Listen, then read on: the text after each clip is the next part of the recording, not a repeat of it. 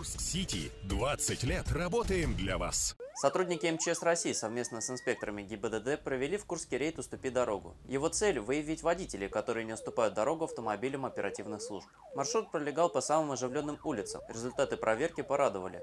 Участники дорожного движения, только услышав звук сирены, перестраивались на соседнюю полосу и уступали дорогу пожарному автомобилю. Также при выезде на выезд а, автомобилисты не всегда пропускают спецтехнику с включенными проблесковыми маячками. Также э, пешеходы не всегда пропускают спецтехнику, э, возможно из-за того, что ходят в наушниках.